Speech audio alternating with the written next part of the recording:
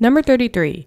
Calculate the mole fraction of each solute and solvent. And then we have letter C. So in this case, we have 25 grams of Cl2 in 125 grams of dichloromethane, which is CH2Cl2. Okay. So for this, we just have to find the mole fraction of the solute and the solvent. I have two compounds here. Well, one, one is technically a molecule, it's just Cl2, but we have a covalent compound here, CH2Cl2. Which one is the solute and which one is the solvent? It's good practice to just identify which one is which. Now, since solute has six letters and a solvent has seven, you could always use this little trick to find out which one is the solute and the solvent. The smaller amount is always going to be placed inside the bigger amount. And generally speaking, the solvent is going to be your liquid medium. Now, in this case, they're talking about Cl2 versus CH2Cl2. So, in this case, we have 25 grams of the Cl2 is being placed in the dichloromethane. So the Cl2 has to be the solute, and the CH2Cl2 has to be the solvent. And once they're placed together and they're chilling, it makes a solution which is eight letters. So solution is the highest amount. But anyway, for these, we just have to find out the mole fraction for both. The mole fraction formula is this. There it is. And maybe we'll put it in the middle this time. There we go. Now, a mole fraction is represented by capital X. So capital X, mole fraction. And just like any other fraction, a mole fraction is a part divided by a whole. We can only find a mole fraction for one compound or molecule at a time. So if we're trying to find out the mole fraction for Cl2, I have to put the moles of Cl2 on the top divided by the total moles in the whole entire solution. And then we have to do the same thing for the CH2Cl2. But I see mole, mole, mole, gram, gram. Yikes. So, I, I'm not in the right units. I first need to get in the correct unit of the quantity, right? Grams, to moles. So they gave me 25 grams of Cl2. I have to convert that into moles of Cl2. And then I got to do the same thing for the dichloromethane. They gave me 125 grams of CH2Cl2. Well, let's convert that into moles of CH2Cl2. Maybe I can move this up a little bit.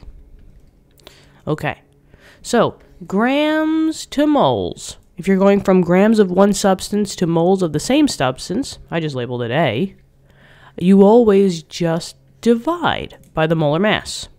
So I have to look on the periodic table for what the molar mass of Cl2 is. There's two chlorines. Each chlorine is 35.45.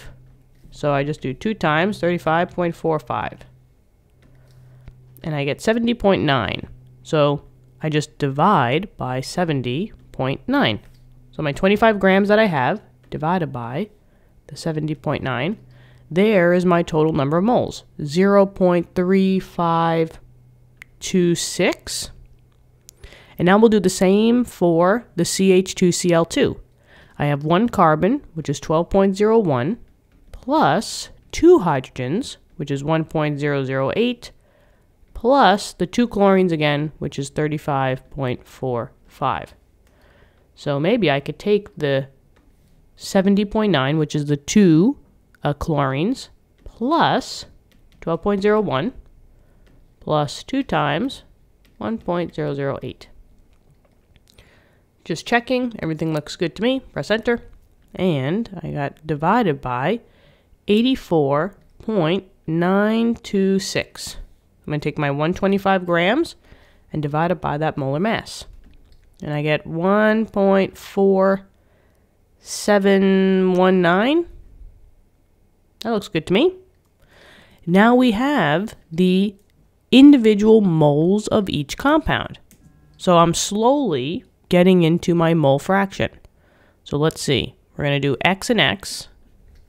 We have Cl2, so the mole fraction for Cl2, and then we have the mole fraction for CH2Cl2. This is going to equal a fraction. And now, if we're trying to find the mole fraction of Cl2, I put the moles of Cl2 on the top, 0.3526. And if I'm trying to find the mole fraction for CH2Cl2, the 1.4719 goes on the top. But now the question is, what's the number in the denominator? Well, that's the total moles. But if these are all the moles that I have in my whole entire solution, what would I have to do to find the total? Yeah, you got it. We just got to add these numbers up. So, 0.3526 plus 1.4719, I get roughly 1.8245, and that's your total moles. And that would be the denominator for both fractions. So now we are ready to go. x equals, x equals, let's just fill in. We got the mole fraction for Cl2, and then we have the mole fraction for, maybe I need a little bit more room, the mole fraction for CH2, Cl2. So for Cl2's mole fraction, 0.3526 divided by that number, I get 0 0.193, I guess. And then for the other one, 1.4719 divided by this number. I get 0 0.81. I mean, technically they both should be one sig fig. So maybe we'll say, uh, sorry, two sig figs. Um, so maybe we'll do that. Eh, that's fine. Zero. Does it matter? No. Eight, zero, seven? Sure. Um, and those are your mole fractions. Now, just know that if you have all your components, right, all your mole fractions together, and we add up all the mole fractions, what number do you think we would get? We got to get the total.